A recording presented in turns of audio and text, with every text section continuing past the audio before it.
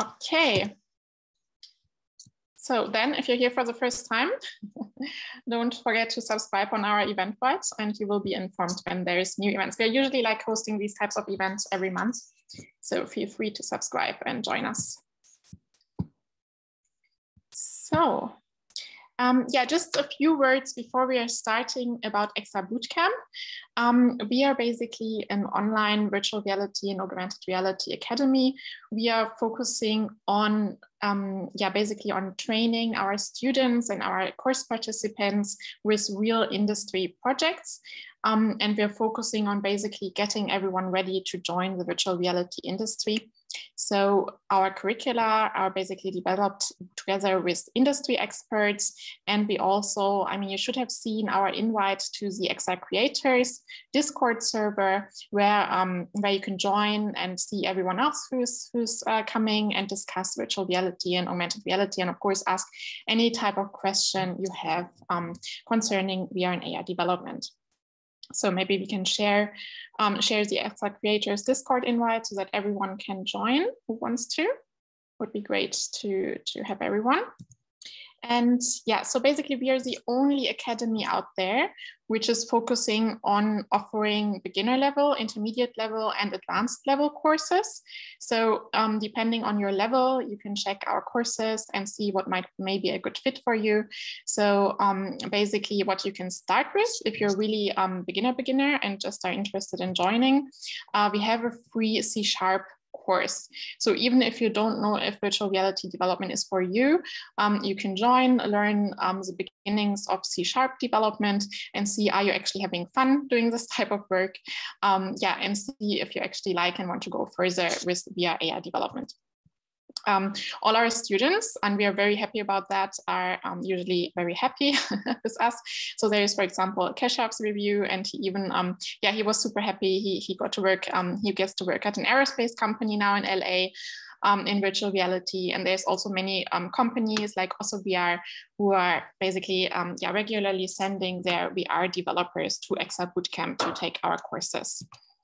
So um, yeah, if you're taking our courses, um, as already said, there's many, many companies which are sending their developers. So you will be in good company.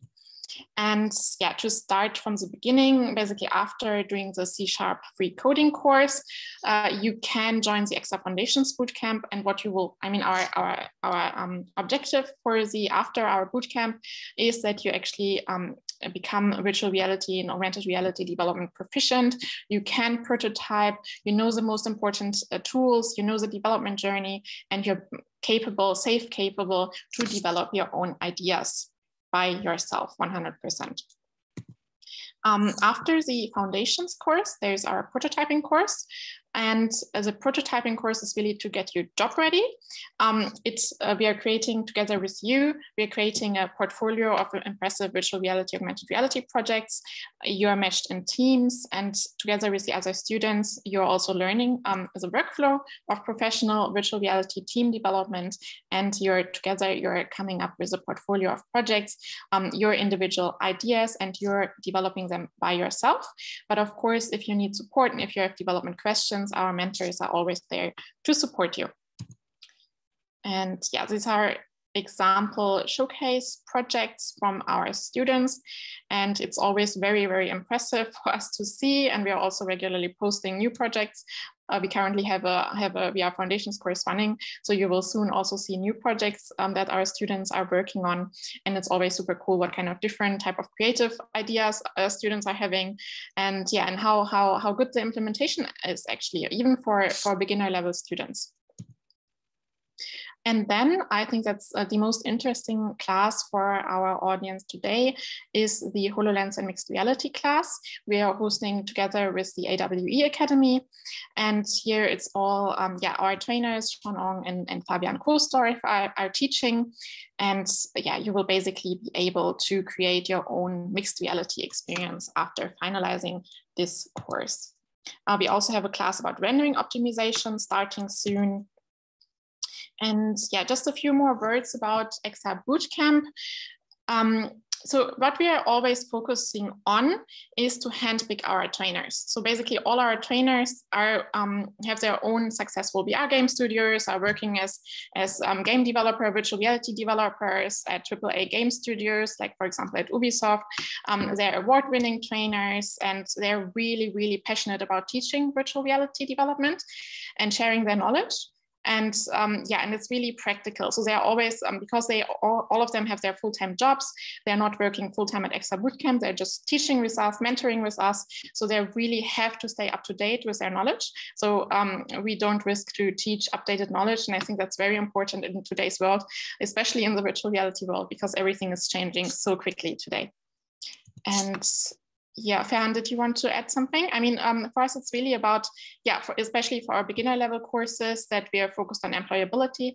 So um, we always have the one-on-one -on -one mentorship for students, also with our career supporter, career support services. So basically we are matching our students with recruiters and um, yeah, and it's all about making you self-capable, even designers to prototype um, your own virtual reality and augmented reality um, ideas. And um, yeah, and for us, it's really important that it's actually cohort-based courses. So we're all starting together, we're all finishing together in one course, so that you also have the accountability with the other students to finish on time, to finish your assignments, and to also work harder as um, as you would if you just followed like basically a self-paced video course.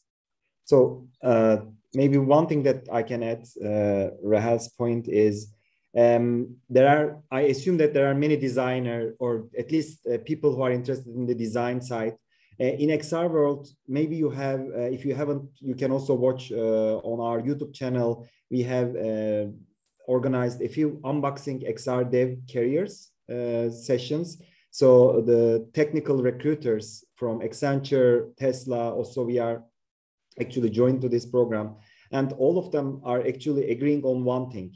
Even though you are a designer, if you want to have a, a like a strong career in XR industry, you need to have at least uh, basic prototyping skills. So the word here is self-capable to prototype your own design ideas are very critical for this industry. So as Rehan mentioned, why we tell that we are the only actually academy for that because we have also advanced courses that you can um, not only start in the beginner level, intermediate level, but also advanced level that you can even come to a level of an, ex an experienced XR design focused prototyper or XR software developer. So we, we are covering all these two uh, main um, disciplines.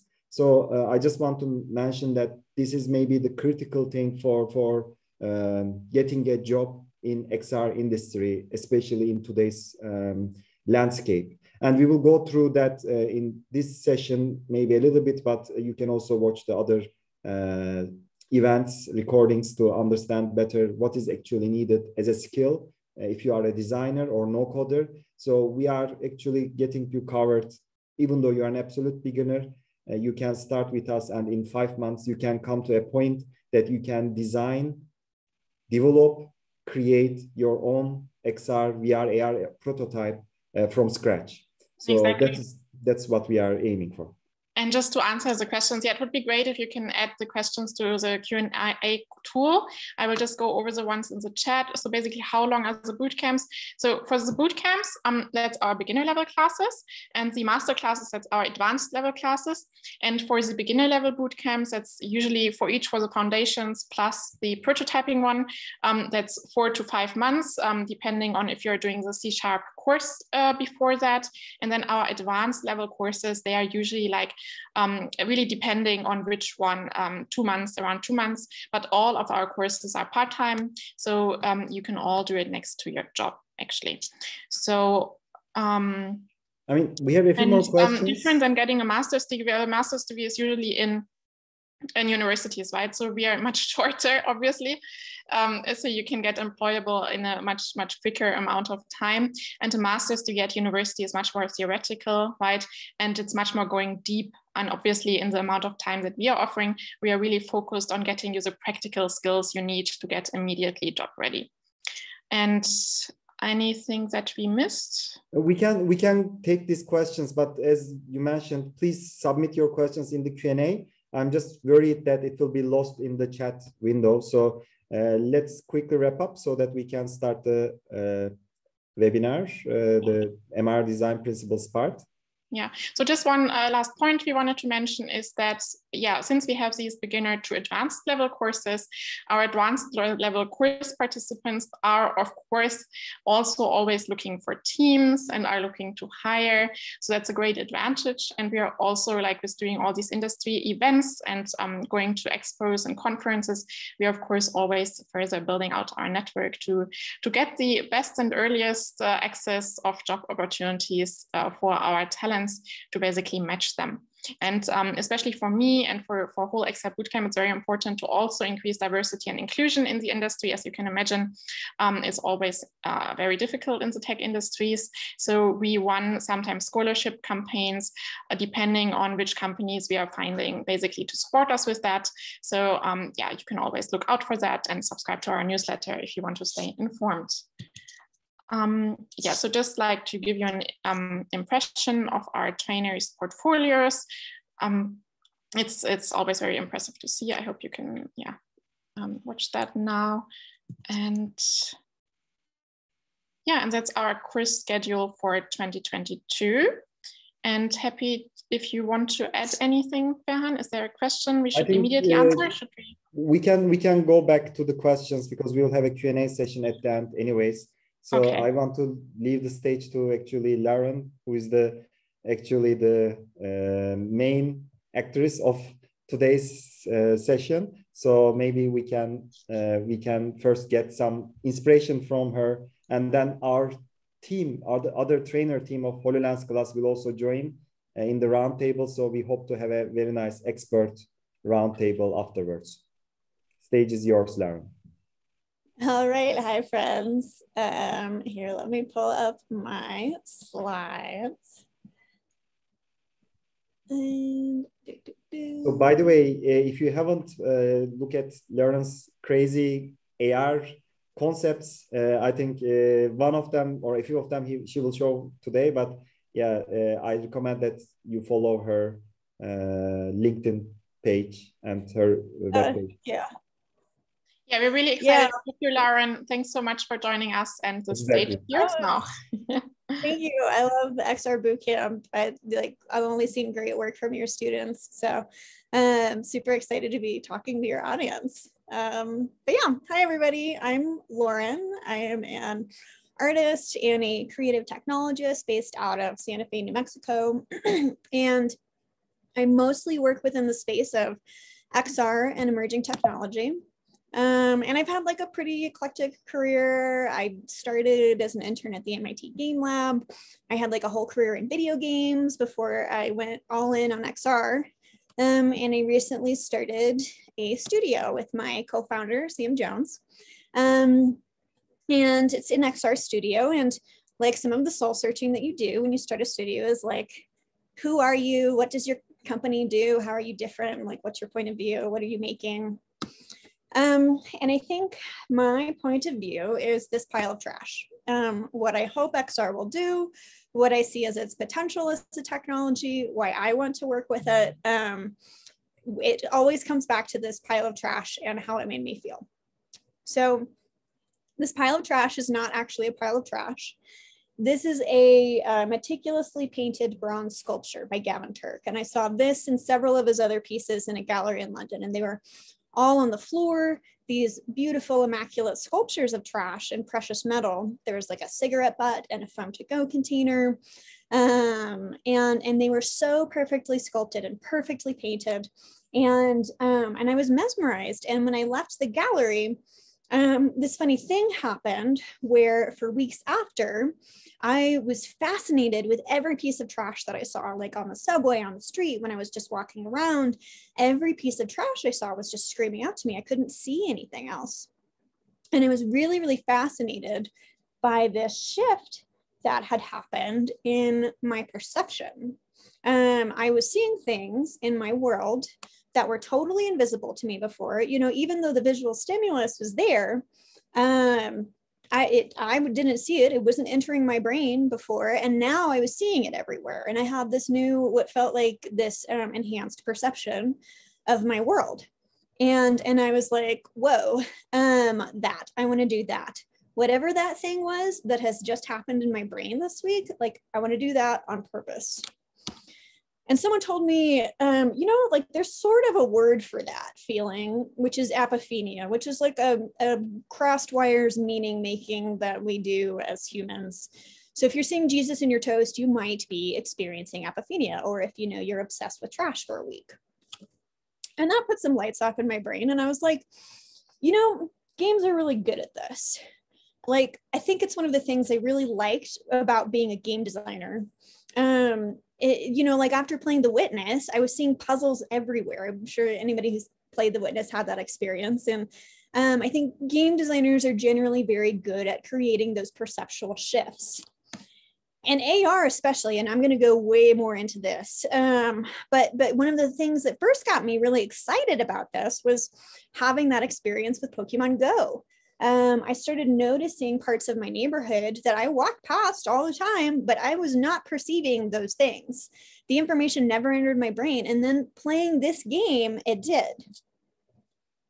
And, and I had worked on a lot of projects that were already about perceptual shifts. So, like Monument Valley was about working with non-Euclidean multi-stable images and constructing these worlds and puzzles that were like really fundamentally about challenging the way that you perceived that image in that world to work already. And I think that also helped me understand why I personally was not super excited about VR. Um, now, I, I worked on some VR games like Luna that I'm very proud of. It's very cool to build totally new worlds for people to inhabit.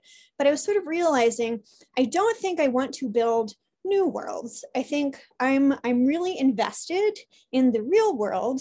I want to make things that make people feel invested in the real world too. Now, uh, the real world is super messed up, and I am not arguing that escapism doesn't have its place. Like, I 100% want to go play video games and go somewhere else sometimes, especially after the past three years.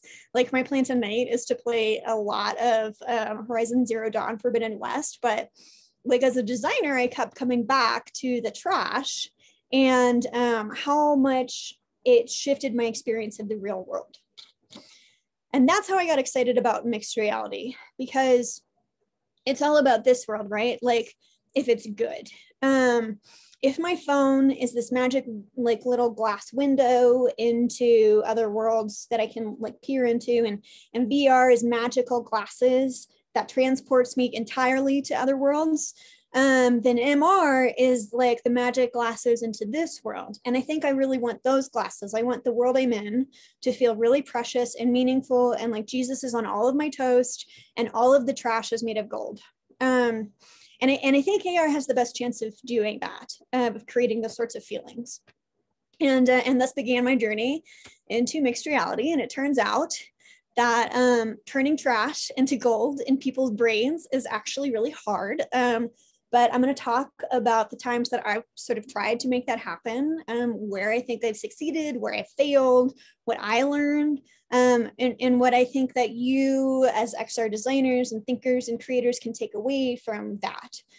And um, you know driving home you know what what i hope we can do as creators which is bring people that feeling to to not try to displace their worlds with this technology but to enhance or alter or shift their perception of this very precious singular world that we are all already in together um, so with that, I marched off out of video games into the world of mixed reality um, in Silicon Valley with like big ideas and like fumbled around at various places in Silicon Valley for a while, and like that was that. And I started learning how to build things for headsets. And um, after a short while, I happily marched right back out of Silicon Valley, uh, and I came to New Mexico to uh, to Meow Wolf to be their XR creative director. Um, so Meow Wolf if you haven't heard of Meow Wolf, it's a little hard to explain, but it was a, it was once this sort of art collective based in the desert, and now they create these large scale immersive exhibits. Um, and let me tell you, I was really, really excited about Meow Wolf. They have the whole perceptual shift thing really, really down. They are so good at it. Um, if any of you have been there and you've walked through this fridge, there's a normal kitchen with this fridge, and then you open it up and, and you're in this alien world.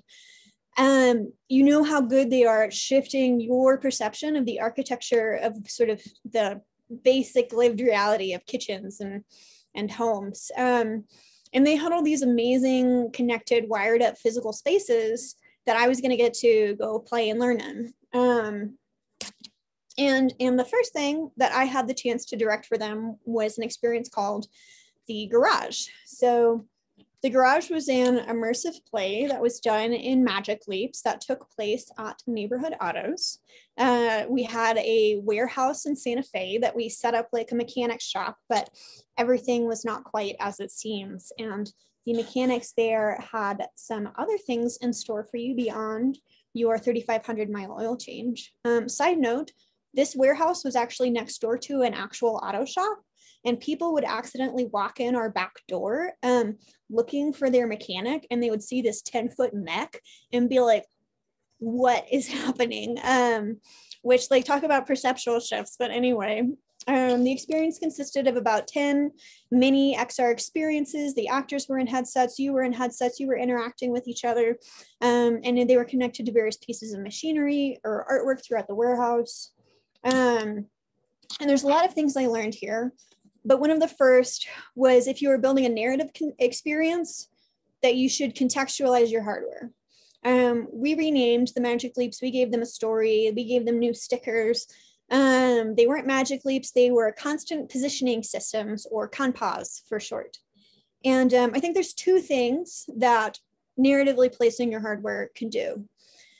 The first is it's an invitation to play um, a, a, friend's five-year-old will often insist to me that the truck is not a truck it is in fact a plane and we are co-pilots and the dinner table is actually a magical bus to alaska and if you've spent time around a kid who's always in that imagination space like being around people who are already there it can be very expanding. Um, you know it's not a great leap for a kid to see treasure in a pile of trash though it might be for adults. And by inviting, you know, just like a little pretend at the beginning of something, a little bit of playfulness, you're setting people up for the right mental space. Um, but more importantly, I think what it can also do is invite in those who might feel nervous about the technology. One of the biggest barriers that I have seen with first time users of a headset um, is this fear that they should already know how it works. Um, that, that if they don't, and if they ask you for help, they're going to look not very smart. Um, I once had a guest go through an entire experience with their headset turned off because they were too scared to tell me that it was broken. And they thought just the chromatic aberration that they were seeing was what we meant when we said holograms. So I think if you're starting out and you're saying, no, no, no, this is not human technology. No one expects you to understand how this works because it's never been on this planet before. Um, it can be a little easier for those people to, to join in the play with you, but also ask you for help. Um, another big learning was ambient set dressing is great. Digital set dressing is great. And when they come together, they can also be so much more. So the garage was chosen as one of the top XR, uh, XR experiences of 2019 by Forbes. And the reporter who gave it that distinction told me that it was because of this part of the experience, because of the trash portal. Um, so big surprise, more trash from Lauren. Um, we had we had this really big platform in the warehouse that we could not move. Um, so we just piled up a bunch of trash on it that we got from a dump. Um, and in the Magic Leap, we put a portal over it. We we assigned an actor to it and put a sign on it. And the actor would just tell you, he'd be like, oh yeah, that's the trash portal. You don't need to worry about the trash portal. And you didn't need to worry about the trash portal. You moved on to the next experience very quickly. Um, but people loved the trash portal. And uh, you know, you you don't need every interaction in its digital form to be super complicated and super tech heavy um, and super interaction heavy. Um, you can have things that are have the illusion of depth, the illusion that there is more depth there, that there could be more to it, and that can be really, really impactful.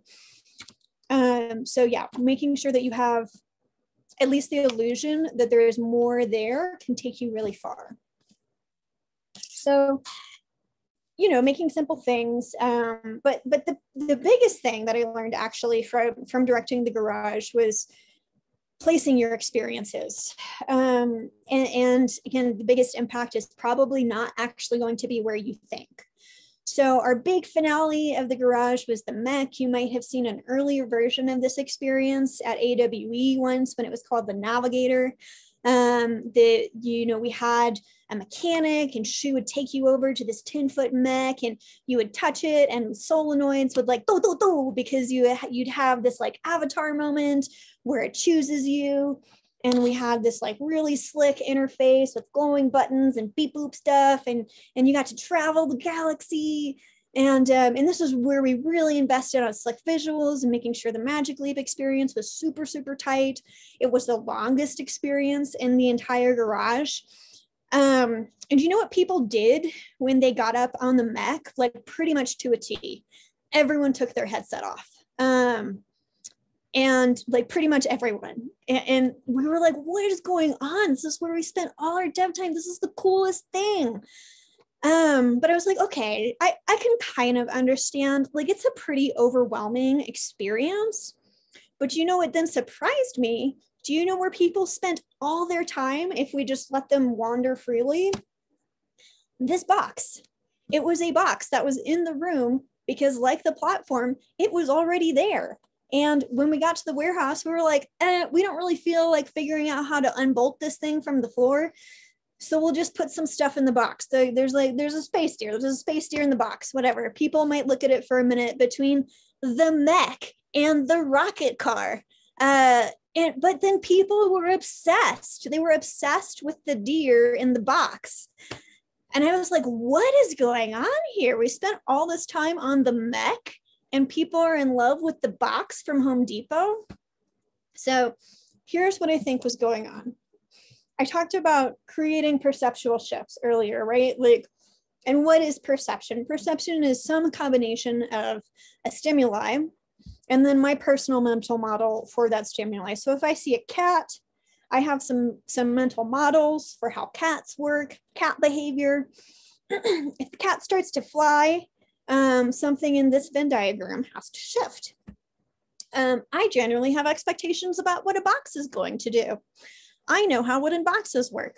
I've got a general idea of what they might contain. You know, like it's a box. Um, but with a mech, most humans walking around in the world don't have a mental model for what writing a mech is going to be like. Um, if you do, you know, I would like to know you. You sound like a very interesting person. Um, but we, you have to have an expectation already in order to subvert it. You can't just be giving people 100% new information.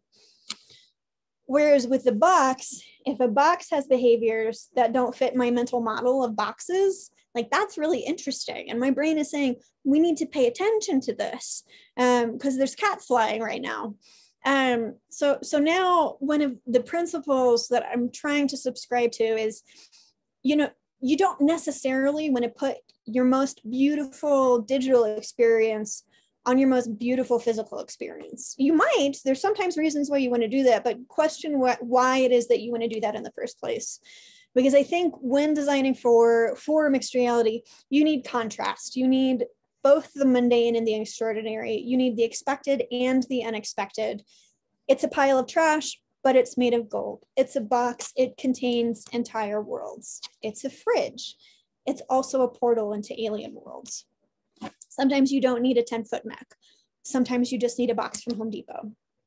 So um, yes, you want to be careful about putting your most impactful digital experiences on your most impactful physical experiences. When you can, pursue contrast. Uh, so I spent like two, two and a half years at Meow We did a lot of like cool, weird stuff. And then Snapchat approached me and they said, hey, we're launching this new headset. It's untethered. It works really, really well outside and we would like you to be one of the artists whose work we launch with um, which i was like yes that's awesome 100% yes i want to do that And I knew, okay, I learned a lot at Meow Wolf about bridging that physical digital gap, and more importantly, how to make those really interesting perceptual shifts. And now this was an added challenge where it's outside now. Um, I no longer have the super controlled environment of a Meow Wolf exhibit, but you know, I'm outdoors. So I spun on like a lot of ideas. Um, I wanted to make like a weather vane thing for a while. Um, but then my friend was like, Hey, aren't you obsessed with those road signs? Um, and I was like, oh my God, like the road signs, the road signs, they're perfect. They're perfect for, for an XR experience.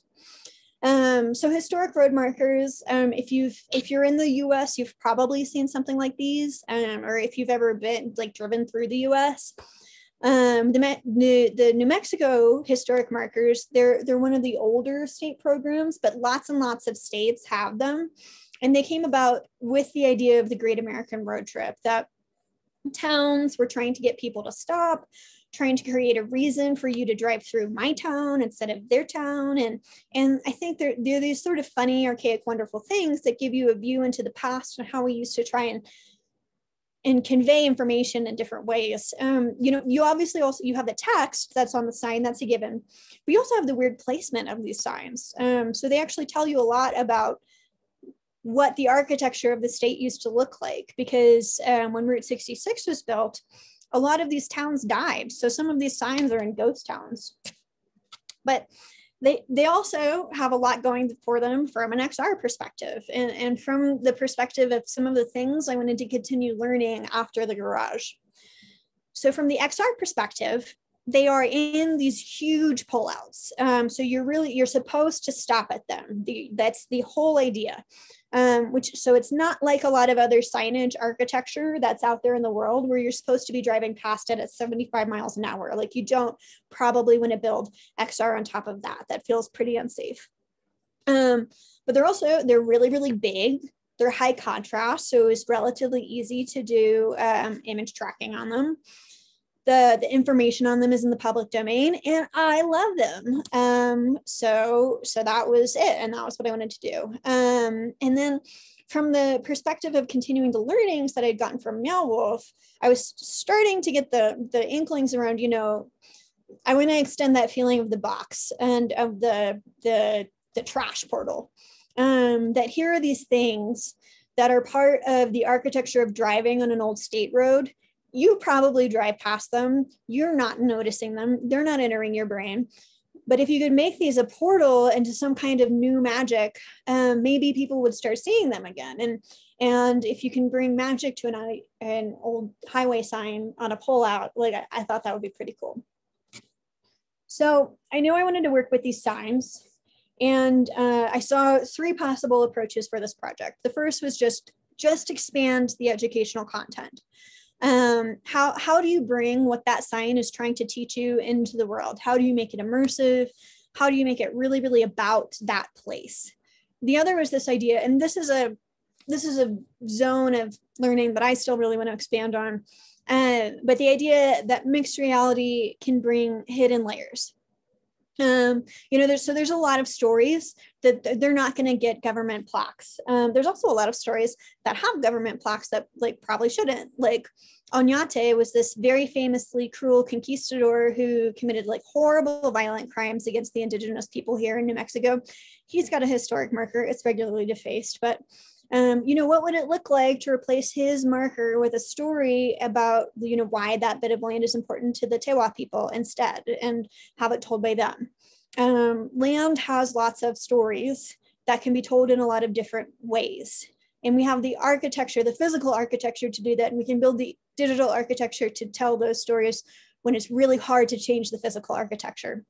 Um, and uh, New, you know, New Mexico's weird and it, and it has really, really good stories and legends and people that just, they're not going to get the plaques. So finding other ways of showing the world. And, and then lastly, there was uh, this really cool thing that New Mexico did, which was they, they have a program for women's historic markers. So there's over 100 new markers in New Mexico dedicated to all these amazing women, the first female black soldier, union organizers like bandits and artists and and I wanted to approach the project as a curatorial one, pairing modern New Mexican women artists with historic figures and have them create work about those women that you'd be able to experience on site. So you could go on this like road trip following women across the street uh, and you know like still do the cool new mexico stuff and see white sands and carlsbad but also have this like massive uh, like multi-mile um, immersive storytelling experience with different generations of women on highway pullouts. Um, so instead of looking at the brief and being like, Snapchat asked you to make one experience, maybe like pick one of these things, I was like, nah, man, I'm going to do all three and it's going to be fine. Um, so March 2021 was a really fun month where I slept a lot and I felt really good about my choices. Um, hot tip like it's always going to take longer than you think it will especially when you are working with new hardware that should be obvious. It's not obvious. Always remind yourself that when you get a new headset um, and you are estimating your timelines. Um, but I made some cool art. So the first thing that I built was the Caldera experience. So this was based on the, the Valle Grande historic marker, and it would let you see a topographical map of the Valle Caldera this 13 mile wide um, volcanic caldera that formed in an eruption like 1.25 million years ago. So you'd see this educational visualization, you'd hear a story, but then you'd look out over the caldera and um, you'd see the mountains labeled. So ideally, you'd get a sense of scale of the eruption based on sort of this little diagram and then being able to see things. Um, and I learned a lot here. This this was the uh, the first outdoor experience that I built. Um, first thing that I learned was I needed a fake road sign to work with at home. Um, I needed to actually stand in front of a physical sign and walk around it and to have a physical facsimile of the thing. Um, so I, I made like in two minutes this big fake road sign for the studio at a foam core. If I could go back, I would make this super accurate to a historic marker. Like I would see if I could go buy an old one. Um, because things like the brown color or the different reflectivity of the material um, at different times of day, that would have been really, really good to have a better idea of when I was working. Um, but whatever you can do to have that facsimile of a physical object makes so much difference in terms of how you build experiences. So if you are doing something where there is a physical thing or a place that is going to be important to how you're interacting, like go to the place, make that thing out of foam core, do whatever you can to fake that while you're building because it is going to change so much about how you are designing. Um, and then the other thing that I would change if I could go back, um, honestly, is I would approach this whole section of the project really differently. There's so, so much to learn here that I still want to explore. Um, but building an experience for this thing is very, very different from building an experience for this, for the background.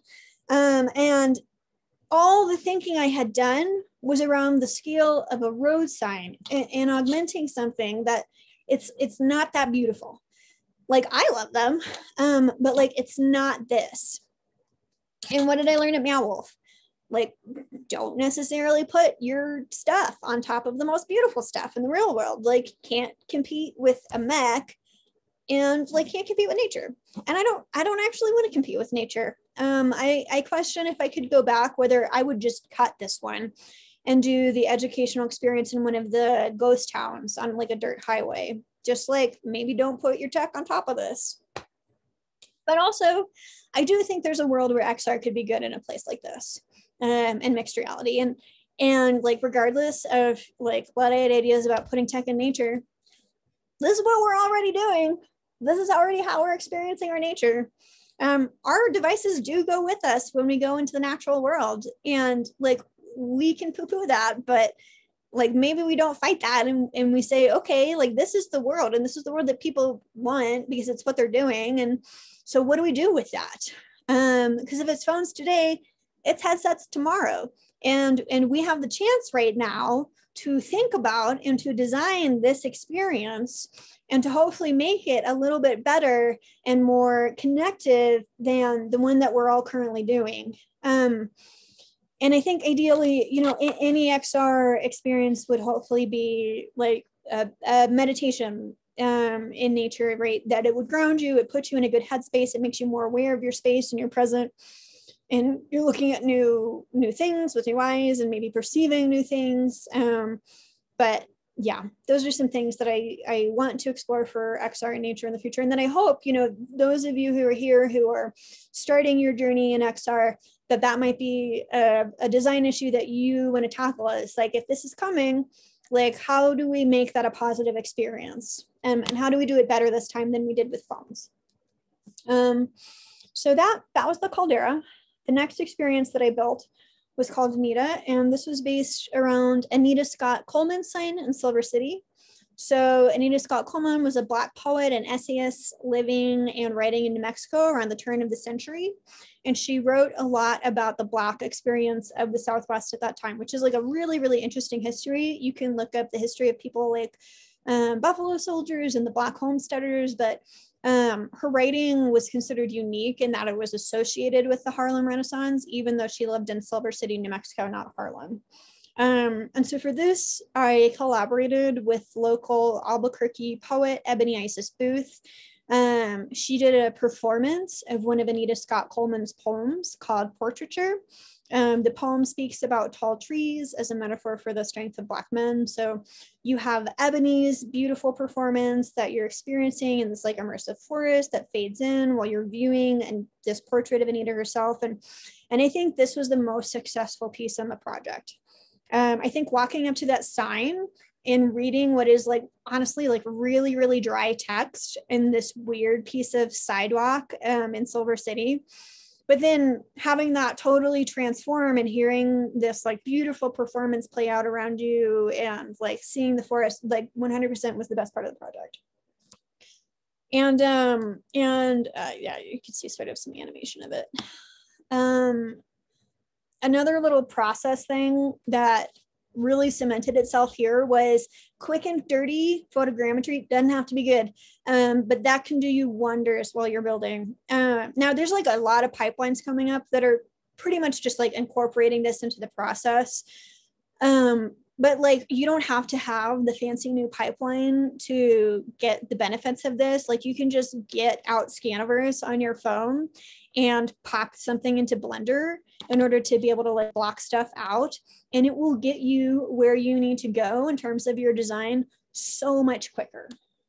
Um so yeah that was, that was the new mexico project and that led into the next project that I ended up doing for Snapchat um, in collaboration with hashtag our stories, which was another outdoor historical exploration, but this time in Boston, um, and looking at um, location triggers as well. Um, and, and I knew, okay, we learned from the New Mexico project, um, like with the Valle Caldera, don't don't put it on the, the beautiful thing. I'm making this in McDonald's parking lots, underground entrances, like alleyways. I, am going to stay away from the beautiful gold domes and fall foliage of Boston. I, I only want to enhance things that you are not perceiving already. So there were two parts to this project. Um, the first part, I worked with photos from the Library of Congress and with local youth poet Kevin Gu to create what they were very simple experiences where I just broke apart these historic photos and then you you get to walk through them in the place that they were taken while listening to a poem that Kevin wrote in reaction both to the photos and to the modern historic site. And again, like this is not a super new idea. We've done overlays of historic photos in AR before, but but um, I think this being in a headset and not on a phone and being outdoors and being something that you were physically walking through and seeing this woman at your eye level, it that actually did feel pretty different when I tried it for the first time. Um, and I think there was something really delightful um, about the relationship between the person in the headset and whoever took the photos, right? So you're standing where they stood, you're seeing with your eyes something like what they saw and you're both using this new piece of technology that's in its early days so for them it was a camera um, and for you it's a headset. And knowing when you're using that thing that it's likely to change how we experience things in the future the camera certainly changed everything and headsets probably will too. And and i think it's a very similar experience we're having to be tinkering in the early days. Um, I also like to think the pigeons in, in the shot might be the ancestors of the pigeons um, that are uh, behind them, the real pigeons. Um, but yeah, I, th- I think this got closer to that idea that I talked about earlier in the New Mexico series of, of hidden layers to a world. Um, and then the last piece in that series, which this was probably my favorite thing I ever worked on, was about a woman named Kathrine Switzer. So Kathrine was the first woman to register and run the Boston Marathon in 1967. And during her run, um, she was tackled by race officials who tried to physically rip the bib number from her, uh, from her body when they realized that a woman had registered and was running the race. Um, so she finished the race. She's alive. She's still running and being a total badass. And um, Yusuf Omar from hashtag Our Stories interviewed her and you get to hear her on site uh, on the site that it happened in her own words tell you what it was like that day for her and to see the scene play out before you using historic photos from the press that day. And that one that experience is like animated and much more complicated. This was an early version but it shows you this video shows you the best view of what that street looks like. Um and it's a really nondescript street in framingham. There's like a you know, an empty lot for sale next to it. Um, and and I think it's there's total magic to standing in a place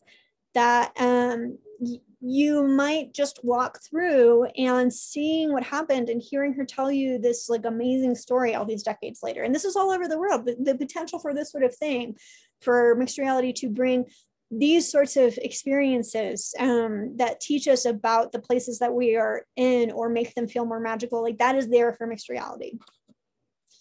Um, so that's all outdoors. And, and I, I spent a lot of time thinking about about outdoors and and mixed reality but um, if you've seen any of my work the the most likely thing that you've seen is like one of the few things that i made indoors um, so I made this, this like, oh, why is it not playing? Yeah, I made this little baking demo. Um, you you like see the recipe and and um, having things labeled, being able to see sort of like where things would go, and having physical measurements, having temperatures and timers that are local to the. And then I eat the cookie. It's a good cookie. Um, but yeah, so I made that, um, and then it was accidentally the most popular thing I have ever built, um, which was a surprise. But um, uh, ba- baking for me is is like a pretty special space. I bake like all the time, and I spend a lot of time thinking about physicality and what it means to like be inside of a body um, and the relationship that that has to digital spaces and, and digital um, sort of manifestations in our physical world. And, and there's not many things that are more physical or corporeal than um, eating and food. That is very much about having a body. Um, but uh, which made it one of those spaces that I was actually a little bit nervous to wade into because, like the Valle Caldera, cooking is already a very beautiful thing. Do like, do I really want to put my beep boop art on a beautiful thing? Um, do I? Am I sure? Am I really, really sure? Um, and and I did. I decided that I did, and here's the biggest reason why we're we're like really into presenting very dystopian visions of AR and food. Um, so we have the classic uh, scary cucumber video game, um, scary fork, um, where your fork the fork yells at this nice old man that he needs to eat more salad and not have um, his breakfast. Um, scary grocery store, another classic. And this is good. I actually I love all of these. I love Keiichi's work. Um, and we need dystopias so that we can say, like, hey, we don't want to live in that world. That one seems like a bad one. Um, we also And I think this is kind of harder. And what I hope to see out of students from XR Bootcamp, and what I, I think I have seen from students from XR Bootcamp, honestly, um, is to be like, what what about this world? It would be nice to live in this world. Maybe we could make something like this. Like this would be a nice thing. Um, and and and I decided I was going to do that. Um, I was going to make the version that I thought was good, um, or at least say like maybe this one, because there was a lot about food dystopian AR and MR that irked me because it it felt like there's there's a fundamental misunderstanding going on here of what is good about video games, what is good about making food, and what is good about mixed reality. And as somebody who cares a lot about all three of those things, um, you know, like I, I play video games a lot, and right now, at least, it's for escapism. Um, there's a lot of reasons to play, but like that's the big one for me right now. And baking is a lot more about like escaping into your real world. That like maybe the world is falling apart, um, but you know what? You can control those eggs and you can control that flour and you can make those cookies and show someone you love them by giving them the cookies. Um, and honestly, like I could give a whole talk just about food and augmented reality and mixed reality. Um, I, I gave a talk actually about food a couple weeks back. So if you're doing food things, hit me up. Um, I have thoughts. Um, but what, what I wanted to achieve here was to make sure I was not fundamentally altering the experience of baking. I'm, I'm not making a video game. The only, only thing that I am doing is removing points of friction. So things like I have to touch my phone and then I get batter on it, or I'm checking this timer, or I have to pull out a ruler to measure how far my dough should be.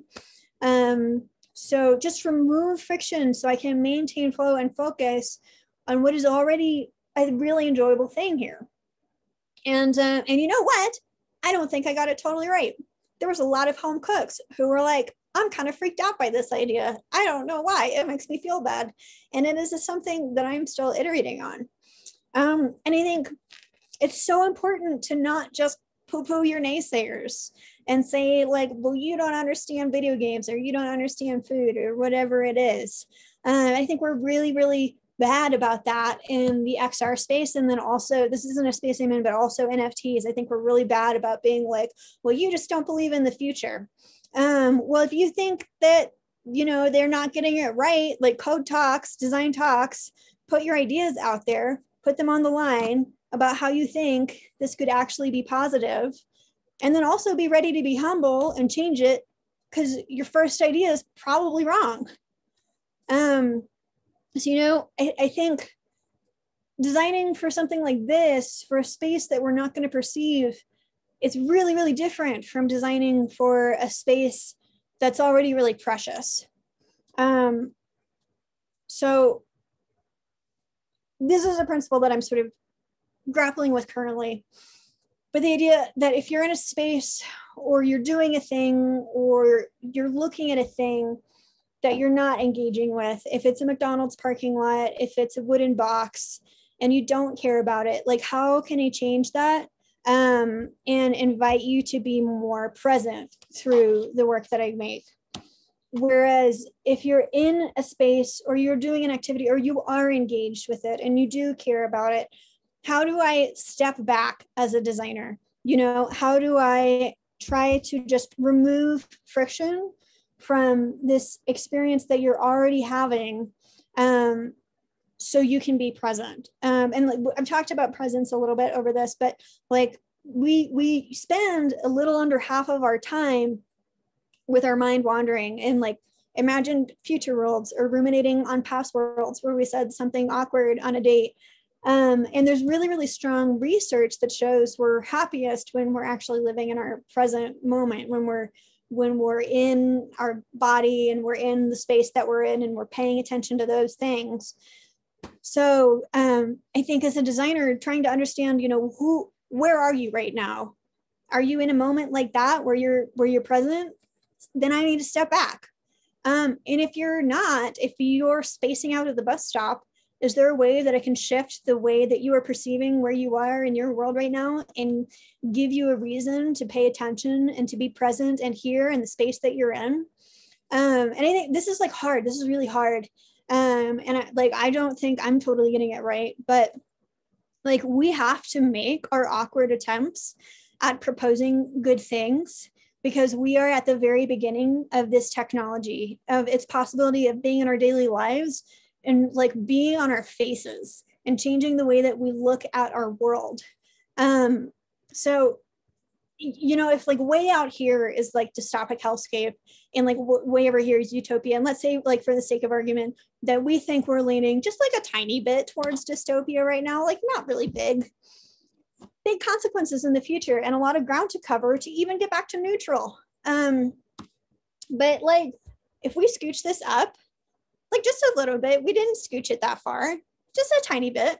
Um, it makes such a difference on our trajectory in the future um, and there's a couple ways to do this. And I think the big way we're doing that in the public discourse currently is in reaction to the bad outcomes, as we're showing dystopic worlds.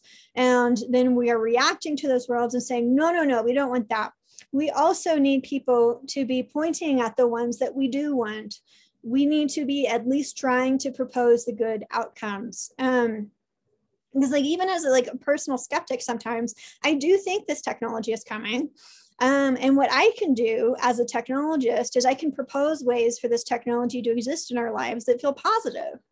Um, and and you need you you you need to do that too. Um, and and if people are saying no, actually that feels bad, and I don't mind that, like listen to what they're saying and be ready to change. And and not just people like your internal team.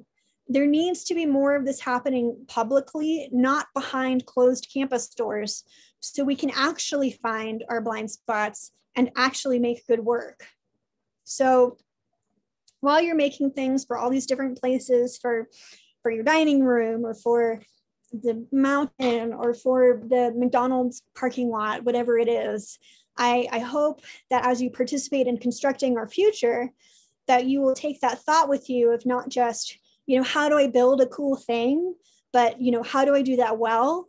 how do I take that responsibility seriously, considering the moment that we are in for this technology? Um, how do I give people new ways of perceiving their world? And how do I also respect the things and the spaces where maybe somebody doesn't want some new view and they don't want you to change it? Maybe the only thing I want is to be more present there is to like not look at my phone and to pay attention to my pie or like my my partner or my mountain or whatever it is. Um, and and then as a designer knowing the difference between what those spaces are and that, that's hard. Um, and being ready to be humble and to change in service of trying to get this right uh, because with mixed reality the stakes are high. Again this is our this is our literal faces like our human meat eyeballs that we are going to be viewing the world with. Um so ideally we'll all be turning trash into gold but then also not accidentally turning to trash what is very golden about being a human already. And uh, that that is what i have for you. Um, so here is here's my information uh, Refract AR is available for work, and I I really really really want to talk to you if you are doing things about food, if you are doing things about um, bodies or dance, um, or about large outdoor spaces or history. Um, so yeah, thanks for listening to me ramble for the past hour. Thanks, Lauren. It was really inspiring. I mean, you you you probably couldn't follow the chat, but yeah, the excitements and the inspirations you shared with us was amazing.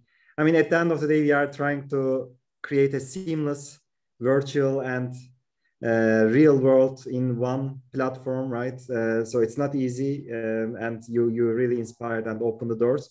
Uh, without further ado, I would like to actually um, open up the discussion, at least for our roundtable um, with our trainers and our um, graduates uh, and a few uh, our students as well so it's uh, a few more people so let me let me slowly um, invite them to to the discussion in the meantime it's a very important thing that if you are asking a question please ask on the q&a tab because it is very difficult for us to follow the um, chat window. That's uh, very important. So please share your question directly on the um, Q&A tab.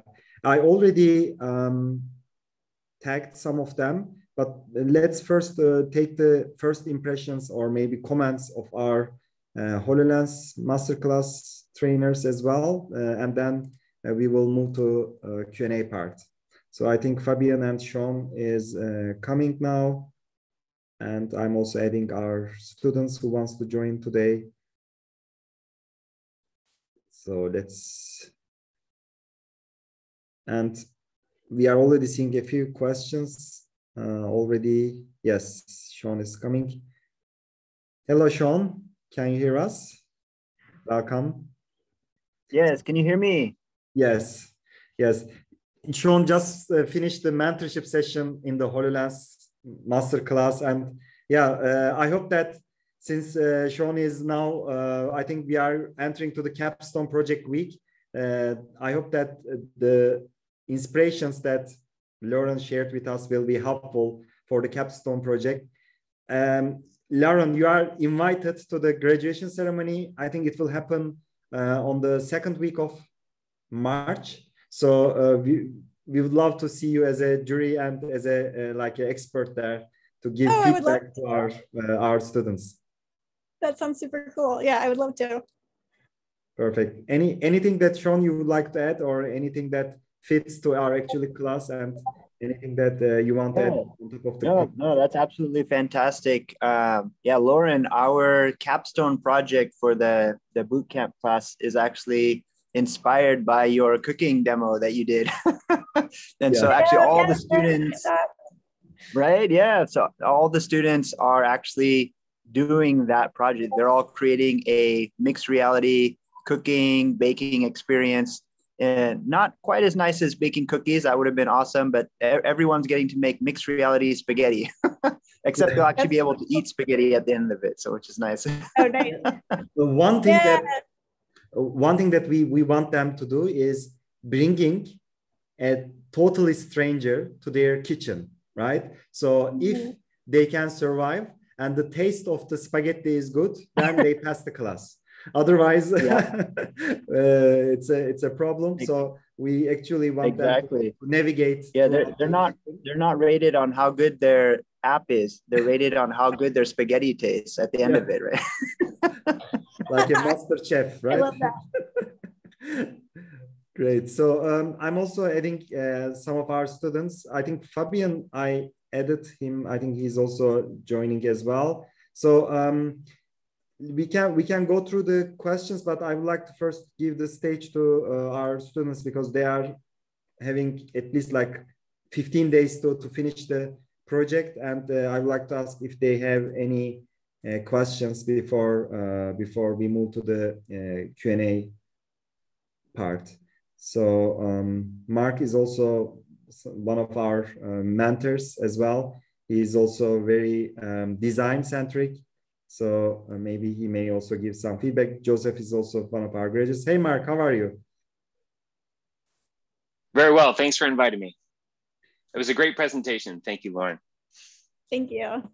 Great, great to see you here as well. So um, yeah, uh, Joseph is actually uh, one of our uh, graduates from the foundations class, and we have also a few more people from the um, from the Hololens class that I I'm one by one adding. It's not easy to go through these hundreds of people and then find our students, uh, but yeah, uh, I will do one by one. But if if you have uh, the chance to check Lauren, should we start from uh, a few of our questions already being submitted? I yeah, can yeah. walk through that if you want, or you want yeah, to start from one of them.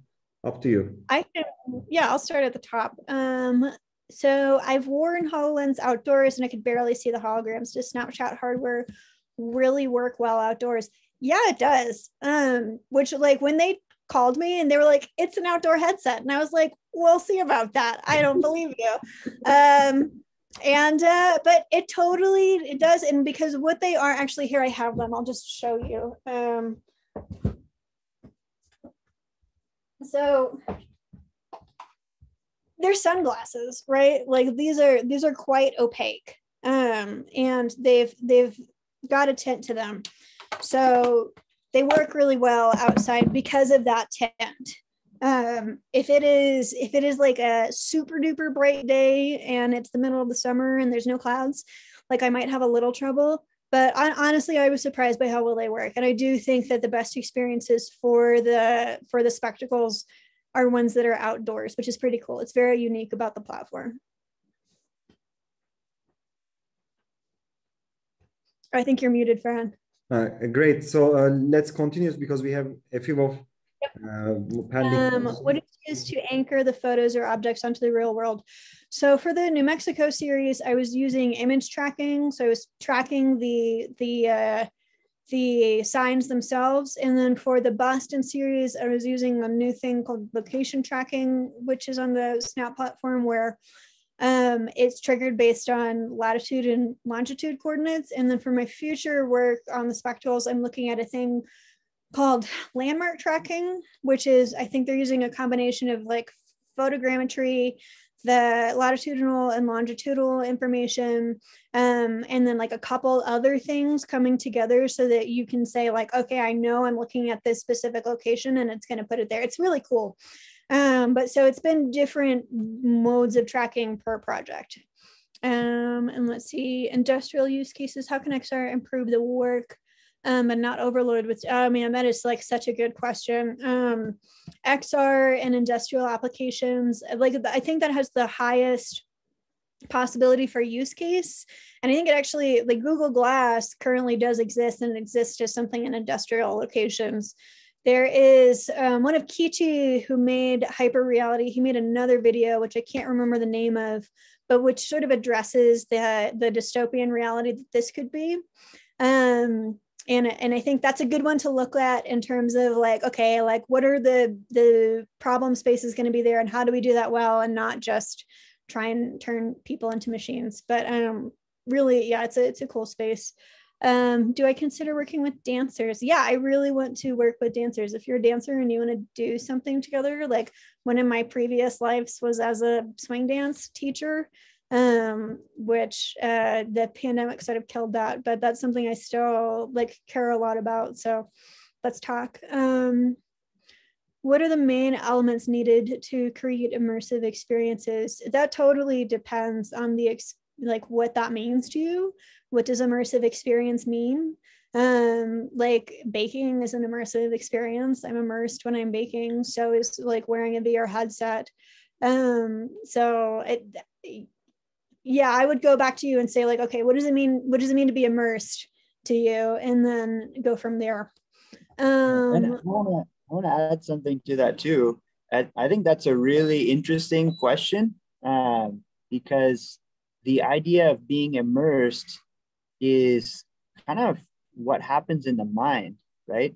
Sometimes you can read a, a book, right? A book has no moving pictures, it's very small, but you can totally be sucked into the world of that book and, and your whole world around you disappears. Or even if you watch a, a movie on a little phone, right? Uh, even though that screen is so tiny, uh, you can be kind of sucked into that world of the movie where you kind of ignore what's going on around you and all you your whole world is just that screen and so i think that's uh, uh, where content really comes in right is it's not that the technology makes your content immersive but is your content itself able to kind of suck uh, the person in so that they really feel like they're in an immersive environment? If they feel like they're in the world that you're trying to put them into. And i think that uh, vr uh, devices and mixed reality, I think that definitely helps because uh, you know the visuals are all around you. You've got spatial audio, all that kind of stuff. But really, it still comes back to the content, right? How how is what you're making uh, uh, doing as far as its effectiveness in bringing the user into the world that you're trying to create for that user, whether it's a storytelling, like entertainment experience, or even if it's like a VR training, right? If if you can make them feel like okay, the device disappears, everything else disappears, but they're fully focused on the content and what you're trying to achieve, then I think that you've successfully achieved a, an immersive experience. Perfect. Yeah. Um, Um, maybe oh. maybe I can also introduce Fabian as well. He had some technical issues. Uh, Fabian is uh, from Mixed World uh, and uh, Island Labs.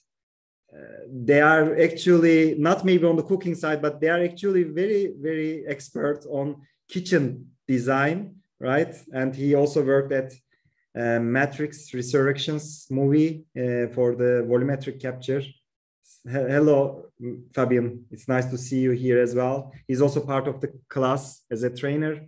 So um, we would love to hear your comments, Fabian. I know that you couldn't talk. Maybe anything you want to add, you're already writing the comments on the questions, but anything you want to add, please feel free to chime in. We we cannot hear you. I think you are muted. No, thank you, Ferhan. Yeah, it was a really, really great uh, session, Lauren. Thank you so much for for sharing all of this. Uh, also, uh, very excited to learn about how how you approach everything like this and how you come up with those really brilliant designs. Um, also, really embracing mixed reality as a whole in uh, all those those sessions. That was really impressive for me to see throughout the session. And uh, as Ferhan already mentioned, the chat was really going wild on some of the things that you showed. So um, that that's really cool. And uh, of course, from the kitchen side, it was really fun to see um, that you did what we also had in mind when uh, designing this this class. That was really cool, brilliant. Yeah, great. So let's continue with the questions. We have a few more pending questions, I guess. Yeah, gosh, there were two in here that I really wanted to. Uh, ah, approaching XR experiences for longevity and not momentary gratification. I think this is such an interesting question right now. Um, and when that with my clients, I struggle with because clients will come to me and they'll say, "Well, we're going to design this, and then we want to design this in such a way that like 100 million people are going to be able to use it." And it's like, there's not 100 million of these headsets out there right now um and like there probably never will be because we're still figuring this all out. Like th- all of this everything is prototype hardware right now. And anybody who's telling you otherwise like I, you know i have some snake oil to sell you too. Um but like it's still important work to do because we're figuring out how it's going to look when those are here. Um but for me right now more than longevity with the experiences that i'm looking for is for learning. I think we're still at the stage um, where, like, the when movies first got made, it was revolutionary to figure out the cut that you could cut from one scene to another. We're still figuring those things out. Um, so I think that that for me is the more interesting question than making things that are going to last because we don't have our design paradigms yet.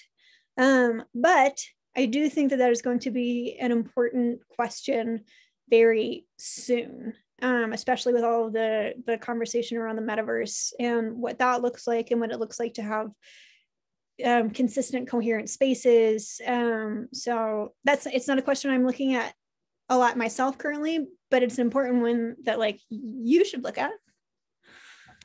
Um, and then the user testing one. So I talked a little bit about like I think that there's a big responsibility right now, especially from those of you who are listening who might be from big companies that have campuses where you're doing this sort of work, to be doing a better job with our user testing. So for the Meow Wolf one, we were caught off guard by how people did it. And we did actually go through a lot of user testing, but we were prevented from bringing in people from outside the company. So the only people we user tested with were people who were from Meow Wolf, who were excited about the mech because of course they were because it was the cool thing that we were all building together. Um, so we didn't get to have the insights for somebody who's not an experienced with meow wolf not experienced with themed entertainment not experienced with all of that. Um, so that it's really really important to bring in people outside of your organization outside of the things that you're doing outside of your interests your age groups your everything. Um, because like you can't guess um and if you do like you'll get it wrong. We got it wrong. Um so that's that um can and then yeah i think uh, how is ai how important is ai in the mixed reality experience? Um i mean it's going to be super important. Um that baking video a lot of what i'm proposing is based on machine learning that is sort of there but like it's not there yet right? So one of the things that is in that video is where all of the ingredients are labeled right? So ostensibly i could have done one of those. I could have done object recognition for one ingredient, but the world in which it's able to look at across a table of ingredients and say, like, this is flour and this is milk and this is this kind of milk, and then label those accurately, like that's all machine learning like and the being able to like locate where the thing is when it's a pot and the pot's not connected like all of that is ai um, so the world in which this is an actually useful thing that's aware of our environments in real time and and can do things based on that where because like everything that i've built is like super super niche and specific to to like this road sign or my kitchen um, and we can extrapolate out to how that's going to be different um, but that's all based on ai and machine learning. Um, how have i incorporated accessibility for people with disabilities into my experiences? If so how? And if not why um this is a thing that i have been like I've, when i've worked with people who are making headsets um with early hardware like one of my favorite things to work with them on is like okay like how do you know that this user um like isn't using audio? Like if somebody constantly has their audio off and they haven't already input it then like do you want to ask them? Do you want to prompt them? Um, are there like lots and lots of different modalities through which you can experience stuff? And then also um oh man lost my train of thought there. Um that headsets um i think we get really caught on visuals for mixed reality, but there's a lot of other modalities through which we're going to experience things. There's audio, there's going to be, you know, probably some sort of haptic thing that we have. Um, like there's all these other ways to input information. So making sure that you're giving people input in different ways. Um, and then also like some of my favorite projects that I've seen for mixed reality were about accessibility like period. They that was what they did. Um, there was this amazing project. I can't remember who built it but um, it was i think on the magic leap and um, this man has Parkinson's and he has this uh, all of these little mats that he would throw down in front of him and it lets him walk better. Um, and because it's something to do with how you're perceiving information in your brain if you have Parkinson's it lets you walk in a straight line. And the headset would just do that. It would just lay down lines. Um, and he was able to walk. Um, which like that was amazing. Um, there's uh, and this isn't mixed reality, but you know, there's those haptic gloves that let people also who have tremors um, hold hold a spoon correctly. And I think there's a lot of potential there for mixed reality, not just to do a good job in terms of making sure that our experiences are accessible, but that it's a tool to to make the world more accessible um, and and like that's really really cool. Yeah i would like to add to to that specifically for for people with disabilities there, there has been a really interesting project uh, in germany um, with uh, in cooperation with a german uh, football club. They also have a museum. And um, when when hololens 1 was still a thing uh, they've been thinking about how can we incorporate uh, this technology to also enable um, uh, people with uh, visual disabilities to use a mixed reality device that's specifically designed for creating uh, those those visual experiences. But what they figured out is that the HoloLens also has a really great um, um, audio array of microphones, which gives you the ability to hear spatially.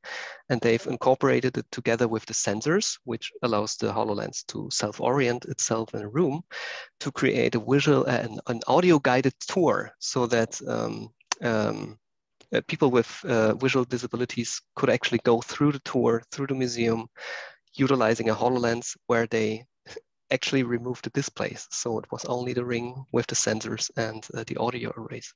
So you always have to kind of think out of the box, I think, and try to incorporate what you have uh, with this new technology. And sometimes you come up with some beautiful things like this.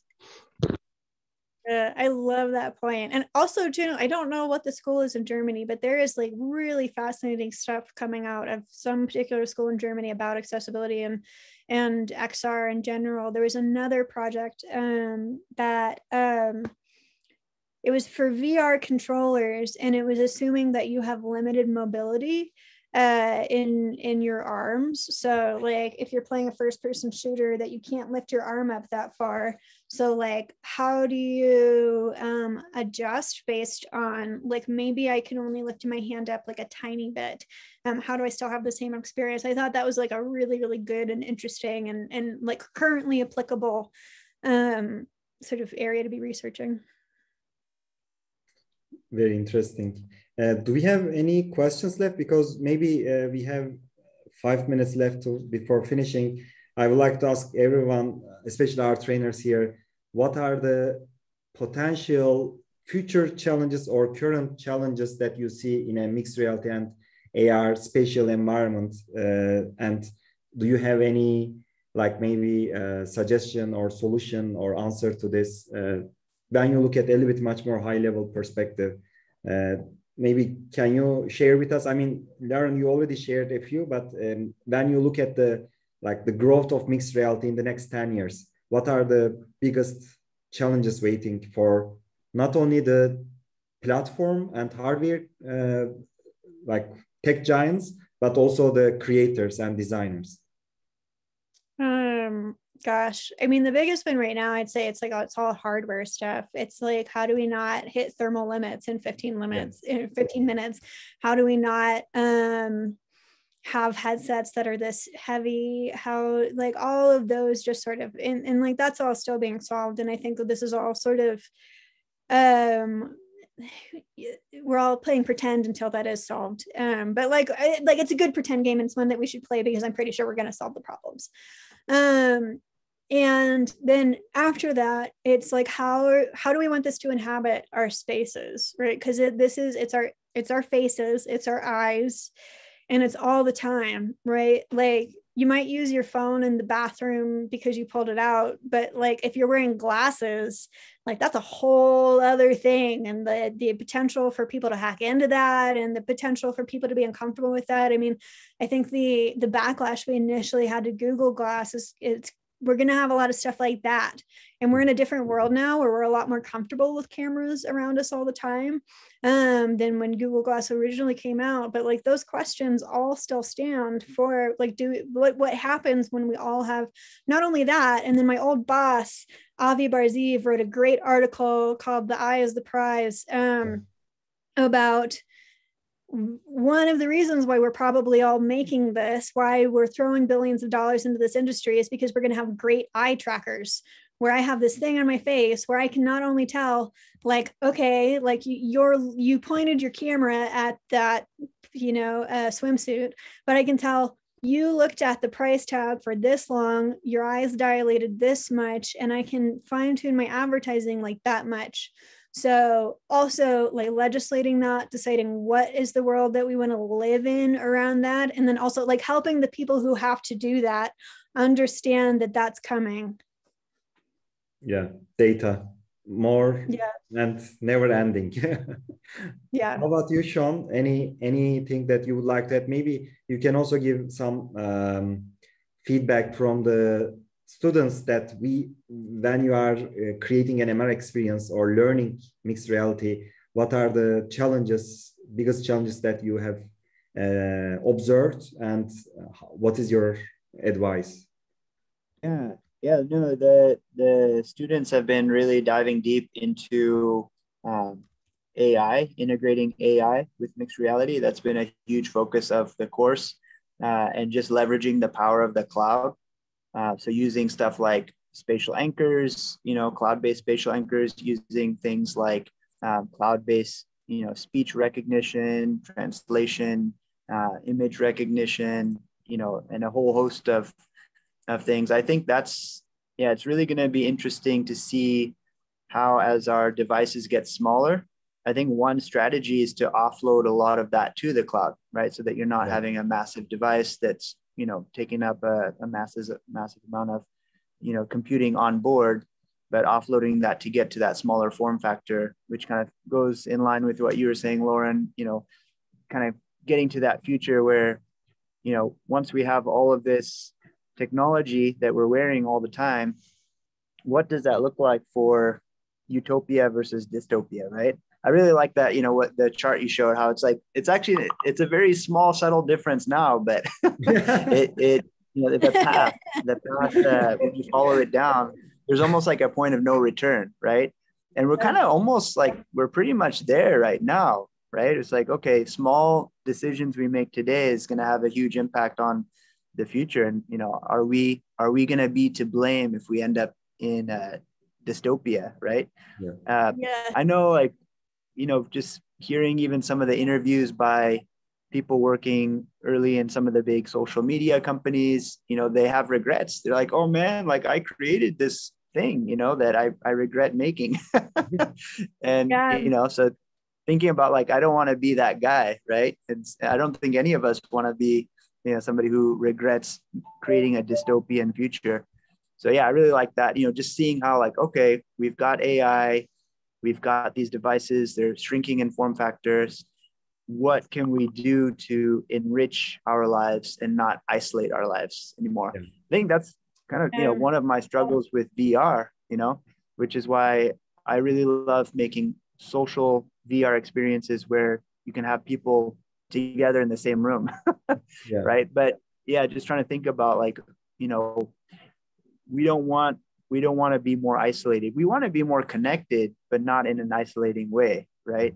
So yeah, just trying to think about about that and i don't think it's i don't think it's something that we can all solve right now, but we should at least be thinking deeply about it. So yeah, I really appreciate you bringing that up during your talk, Lauren. I think that's super important, especially those of us uh, in this industry. All of us are pioneers in this industry. It's going to be the next big thing. yeah, definitely. Yeah. I, I remember. Oh, sorry. Go ahead. Uh, if, if there's anything to tell me, because we, we, we can maybe go through the Mark and uh, Fabian as well very quickly before finishing. If you want to add something, Lauren.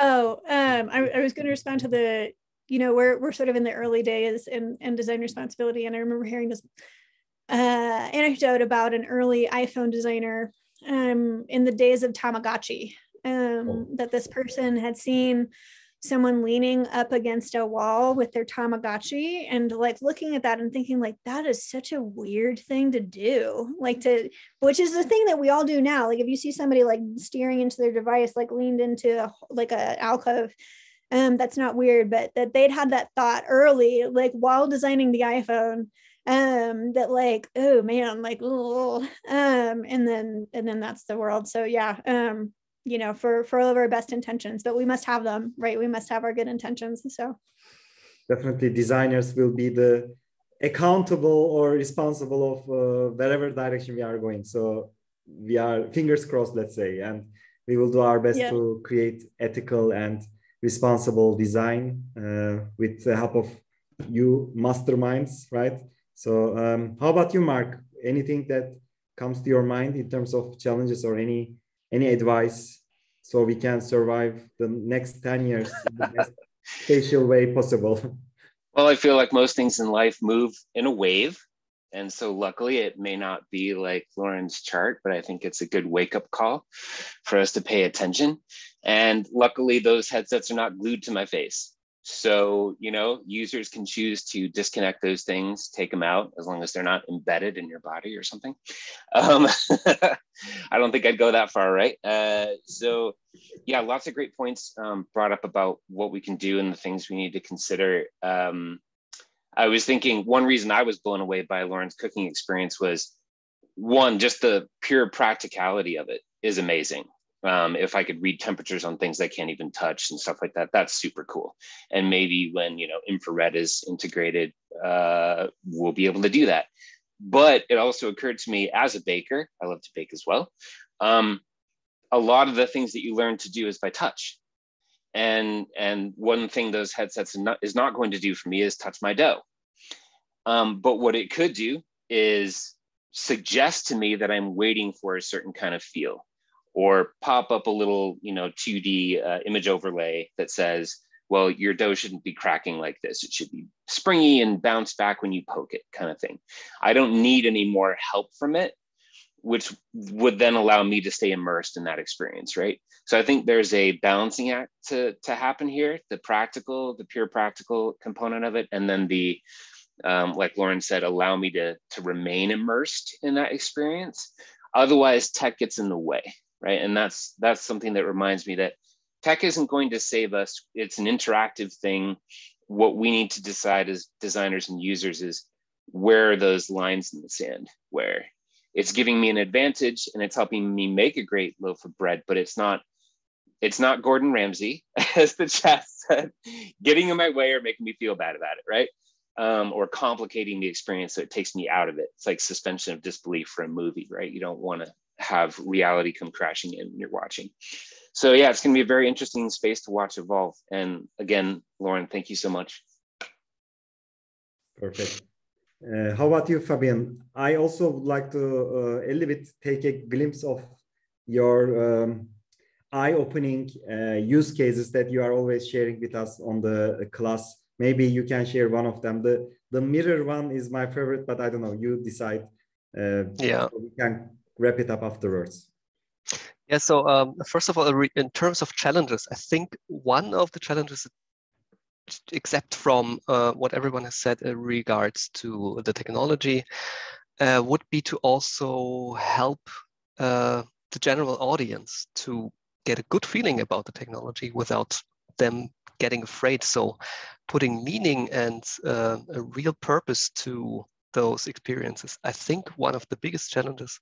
Um, um, just as an example, at, at Island Labs, when we started out creating our um, software for selling kitchens to people, we not only had to convince uh, the sales experts who would use this on a day-to-day basis, but also, of course, we were in touch with people who never used the technology before. And at first, when we tried it out in the laboratory before we even went to the streets, we always had some feedback regarding uh, the very narrow um, field of view of the HoloLens and how it doesn't display the colors correctly and all that. Um, but when we showed it to the actual audience, when we saw it for the first time in action, um, giving the people who really want to solve a problem they have, they want to buy a new kitchen, and then suddenly having a technology that enables them to make a, a very good decision on spacing inside of the room and how everything fits together. No one complained about the small size uh, of the display. They were just blown away by the possibility that it opened up for them because the software was designed in terms of giving them uh, a voice and a, a, a, way to communicate with the sales experts what their actual needs are. And I think this is really, uh, really powerful. Um, and that's that's why I, I love this kind of story uh, to tell this uh, every day. So do not be afraid of of thinking from this user's perspective and then reiterate on, on whatever you do. And don't be afraid to throw away stuff because that's happening in the process. Just do it. and then um, everything else will come come along, I think. Definitely, definitely. Uh, thank you, Fabian. I mean, uh, we are always trying to give the notion of iterating, failing fast, you know, because this is how we grow, how we learn, how we improve. So uh, thanks everyone for joining today. Uh, we are a little bit uh, uh, ahead of the schedule, but I hope that everyone enjoyed here. They are still staying, so it means that they are still enjoying at least. So thanks again, Lauren. First of all, thanks for joining us. Um, we will continue doing this kind of roundtable and uh, these kind of like design breakdown sessions for different use cases. So if you are interested, please share on our Discord server what kind of uh, topics or use cases that you would like to see. Uh, we would love to really uh, continue this discussion because it's very powerful for inspirational for our audience and XR community. So thanks for joining Lauren and our team, Fabian, Sean, Mark, Joseph. And um, so let's keep in touch on Discord and yeah, see you in the next open lecture. Thank you. And Sean and Mark and Fabian, I love all of your work. So it was really cool to get to meet and talk to you. Um, thank you. And thank you, you too. Yeah. Um, and th thanks to everybody who's still here um, for attending. Thank you, everyone. Bye. Bye-bye.